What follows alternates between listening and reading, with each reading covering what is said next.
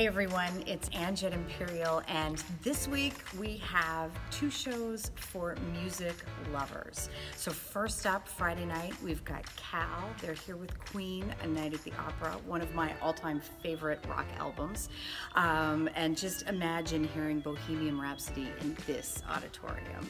It's going to be fantastic. And then on Saturday night, the incredible Eric Harper is going to be here.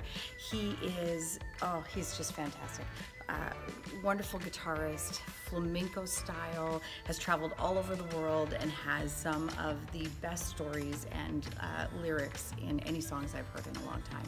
You do not want to miss him. So go see Alex and Andrew at Box Office. They're waiting for you.